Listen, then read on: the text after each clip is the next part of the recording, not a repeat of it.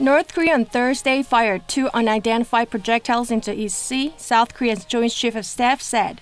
The JCS said the North fired one identified projectile at 5:34 a.m. and the other at 5:57 a.m., which flew about 430 kilometers from wonsan areas into the East Sea. The U.S. is aware of reports of North Korea's short-range projectile launch, a U.S. senior official told Yonhap News Agency. The South Korean military is closely monitoring the situation in case of additional launches in a readiness posture, according to the JCS.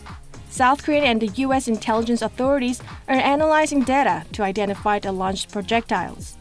Experts predict the identified projectiles are likely to be a form of Iskander class missiles, which the North fired twice on the 4th and 9th of May and continued developing ever since. The May firing took place when North Korea has been in talks with the U.S. for the resumption of a working level negotiations on its nuclear programs. A month later in June, North Korean leader Kim Jong un and U.S. President Donald Trump agreed to resume the dialogue. Pyongyang has called on the U.S. and South Korea to cancel their combined military exercises slated for August.